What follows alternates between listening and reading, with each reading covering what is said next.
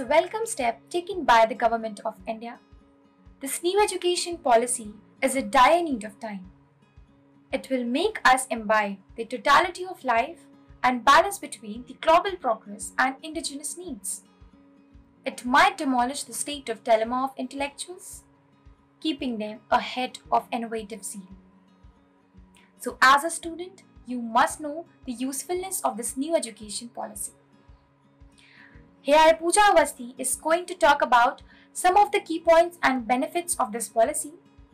So dear friends, we will start from pre-nursery to graduation, post-graduation and then research. Now starting from the school level, the 10 plus 2 education system which we were pursuing yet has been removed and in place of that the new criteria is introduced that is of 5 plus 3 plus 3 plus 4. In this the starting 5 classes from pre-nursery till class 2 the load of the subjects for the students will be really less. In next 3 mm-hmm. years from class 3rd till class 5 the students will be taught for their future.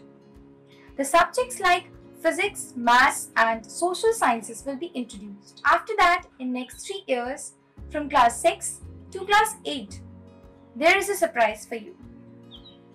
So if you have a dream of becoming a mobile application developer, you had to start its training from the graduation level.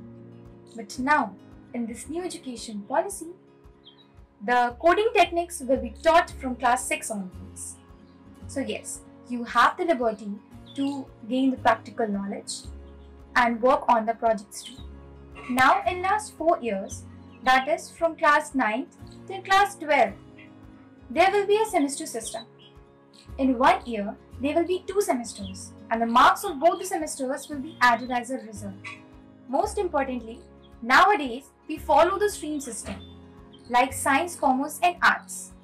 But in this new education policy, there will be no stream system, which means that any student can pursue any of the subjects as per their choice. Yes, you can choose music with science, history with commerce. Now moving towards the college level.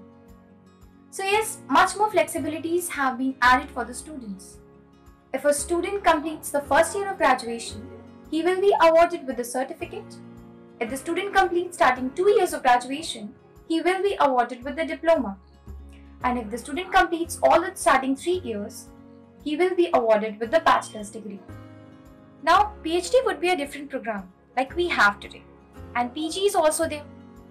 So one can go for the PhD after the PG and also they can have the another option for the PhD which is just after the 4 years. That is the liberal bachelor's degree and by which the student can save one year. The bachelor's degree is now having two options, the third year and the fourth year. The third year program will be like BC, what we have today. And the fourth year program would be like BLE, the Bachelor's of Liberal Education. Just similar like Bachelor's of Liberal Computer Application. So one more feature of this policy is that it has a multi-level entry and multi-level exit facility, which means that the student can study one or two year. They can take the certificate or diploma and can take a break and then again they can join to complete their degree. Now another benefit is that UGC, AICTE and NCTE will be merged in one single education regulatory body. That is HECI the Higher Education Commission of India. The most important part of this policy is that government want to focus on the holistic development of the students at every level.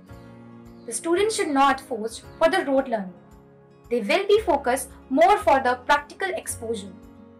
So we must know that the approach would be of great significance. And I really hope that this policy will fulfill all the current need of the society and industries.